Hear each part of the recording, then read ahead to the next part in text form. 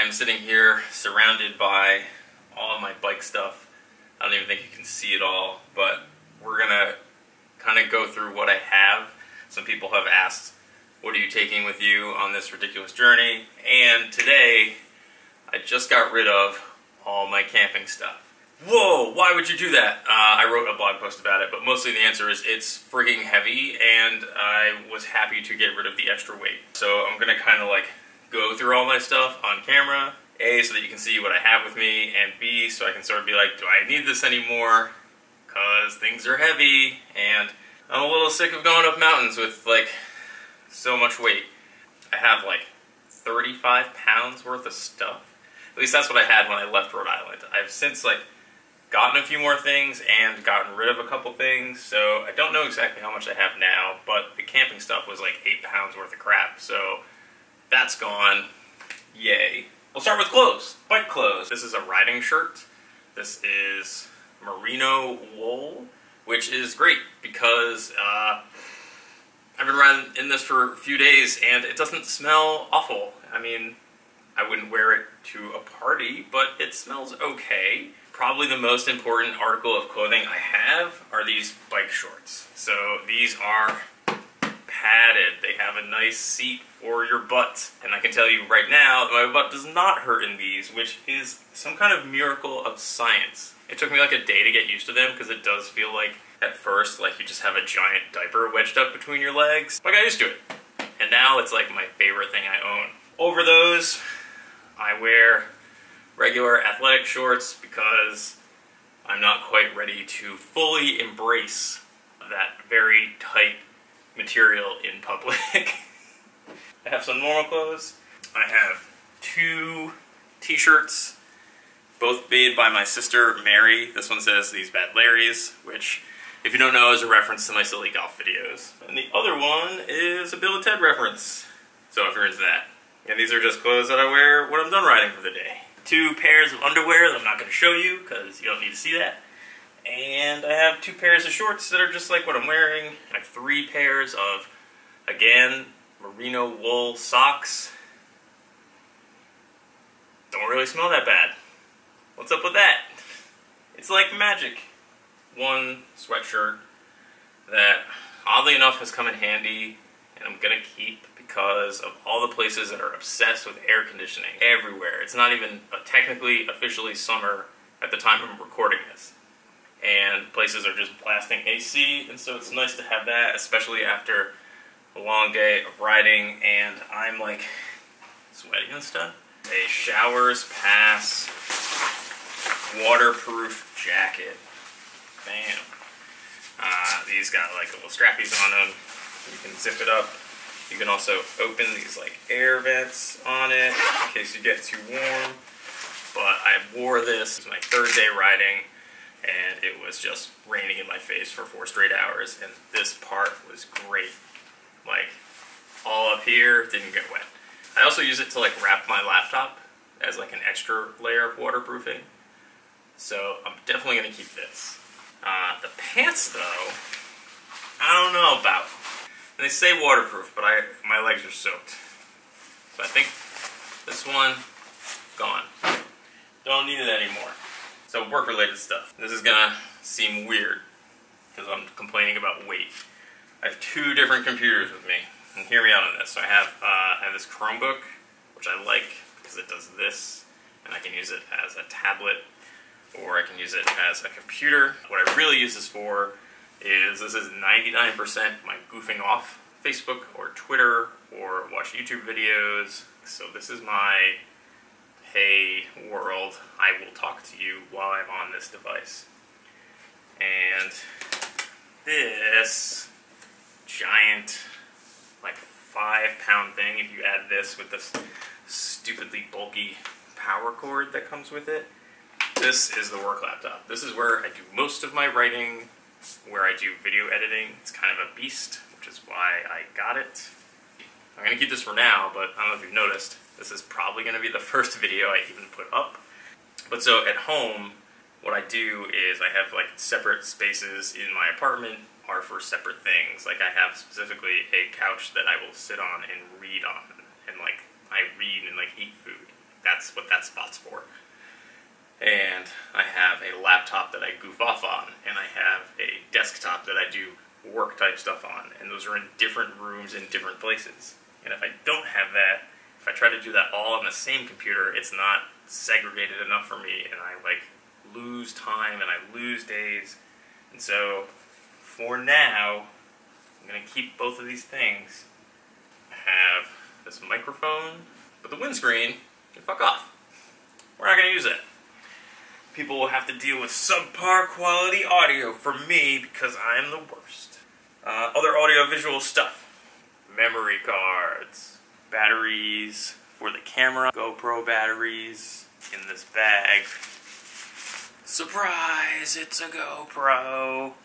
So I do outside filming on the GoPro. This is like usually attached to the bike or to my wrist or to my head. I'll show you that stuff in a minute. And I do inside filming on my Sony RX 100 5.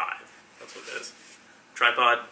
This is the secondary tripod. I'm on the first tripod right now. They're like, why do you need two tripods? That's some weight you could cut. Because uh, when I do interviews, I do both the GoPro and the Sony, so I can have different kind of cuts. And so this will be mounted off to the side somewhere. I have all these batteries for my mouse. I probably don't need this many, so let's get rid of three of them. This is important. This is a little card reader. This will read the SD cards. Cool. Yeah, this is a thumb drive. Mostly just backup stuff. Cleaning cloth. GoPro stuff. Chest mount. Get all your cool shots while you're riding. GoPro head mount. Goes on my face. GoPro wrist mount. This thing's good. It's really useful to get shots when I'm riding the bike like this, the GoPro can I can point it at my face or I can turn around and point at other stuff. Probably use this one the most. Well, I was using the handlebar one the most, but I broke it. This is like an extension. Stop focusing on me, focus on the thing. I can just put it on the mount, like that, and then the GoPro can be different spots.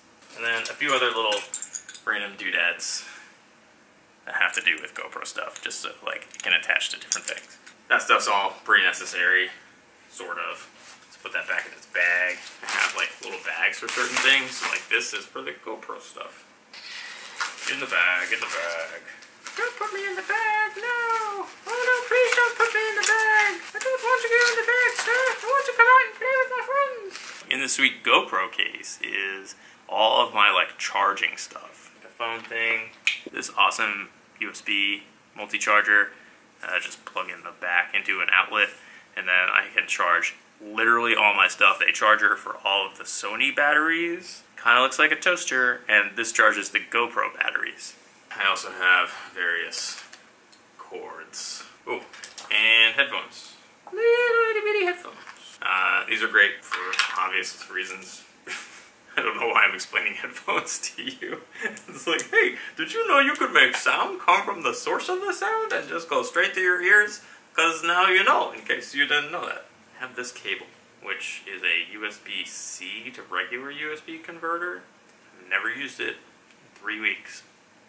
The other electronics device I have that is a lifesaver is this Anker charging brick. This is like a battery for all of my things when I'm lost and confused. Usually this charges my phone while I'm riding. I put this in my front handlebar bag and I just plug it into the phone and then I don't get lost for the day. Ooh, hygiene. Yeah, gotta stay clean. Oh man, I'm gonna dump it all out. Should I just dump it all out? Oh my god, okay, so it was all in this bag, now it's not. Uh, okay, this is like an all-in-one body wash thing, and you know what? I'm not gonna keep it anymore because of the aforementioned, I'm not camping anymore. Got the razor, toothbrush and toothpaste, Tylenol, and Advil bottles. We're going to combine these. I originally started with Tylenol, and my aunt insisted that I take some Advil with me, so I did that. But now I can get rid of the extra space that that's occupying. Deodorant. This is in case I get broken. Band-aids, charger for the shaver. What's that called? Not shaver. The razor. Holy crap. Hair stuff. I probably don't need that, but I am vain. I Got some Claritin tweezers. This stuff is really important. Uh, this helps also keep your bum safe. This thing, you rub it all on here. You also rub some on your butt. Everyone knows that your butt hurts when you're riding a bike, but what you might not know is if you ride it for too long and you don't use this and you don't use a padded thing, you can develop these things called uh, saddle sores. Like imagine how your butt hurts on a bike, but magnified and blistering and just like, no thank you. Got to have the sunscreen. I use this a lot. And so I actually keep this separate. This is in a bag right in front of me on the bike so I can grab it and remember to use it. Toenail clippers, which is important. If your toenails get too long riding all day, they jam up against your shoes and that just hurts.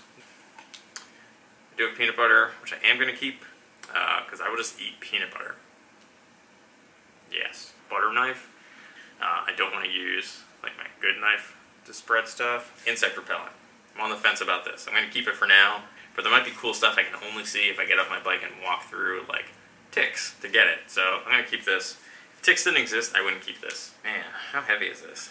Six ounces. What's that mean? Jeez. I don't know. I'll keep it for now. Game stuff. Okay.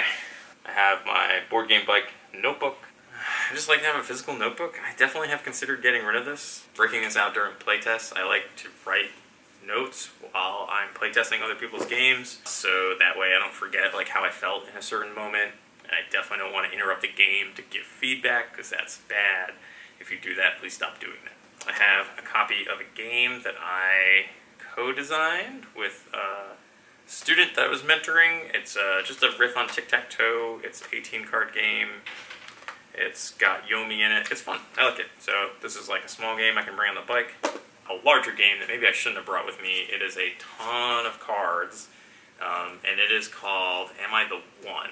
It is a light cooperative game where everyone at the table has the same picture except maybe you. Using limited communication, you have to figure out if you're the one who has a different picture. And it's fun, it's just really heavy and maybe not good for a bike. I have played this on the trip, so it's not like I haven't used it at all, but it's a lot easier to do the 18 card thing. I might mail this back. We'll see. Two copies of Oh My Gods! This is Tim Blank's game. He is the president of Boston Game Makers Guild. Before this trip, I, for some reason, thought I would have all the room in the world on my bike, so I was like, hey man, I know you have a bunch of extra copies of this game. Do you want to just give me some and I'll pass them out to people as I take my trip? I managed to fit four on the bike. Uh, so far, I've given two out. I gave away one to the Manchester Public Library, uh, where Jennifer Bartlett has an awesome game program at that library. You should check it out. It's amazing. Um, and I gave another one to a board game cafe called Game Haven in York, Connecticut, where I ate delicious cupcake. Uh, so I have two more, and they weigh, I don't know, like a pound and a half together. They gotta go. I'm not to get rid of them now, but I'm basically going to actively look for places to, to give these away in the next few days because I don't want more stuff on my bike anymore. I have a crushed box of three golf balls, three yellow golf balls. These are Larry's. I am pretty soon to start doing the Larry thing again, so I brought these with me, although I need a Sharpie. Bike specific things. Two water bottles. I probably need a third one uh, lube for my chain, a sweet multi-tool that has a bunch of different Allen wrench sizes on it. This is really important for uh, taking things on or off the bike and fixing any kind of problems. Like when I had my flat tire, I needed this to take the wheel off the bike so I could work on it.